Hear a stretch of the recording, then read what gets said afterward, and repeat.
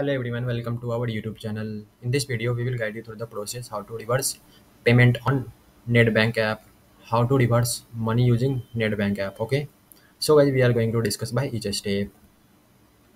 So, step to reverse the payment on Nedbank app. First of all, log in the Nedbank app using your Nedbank ID, app PIN, or fingerprint or secure access. Okay, and select the account from the which the debit order was debited and navigate to the debit order tab okay? And choose the specific debit order you want to reverse and tap to reverse the details screen. Provide a reason for the reverse if prompt okay? And confirm the reverse by tapping the reverse details order again. If the necessary tap to stop debit order to complete the process. So this is the all step thanks guys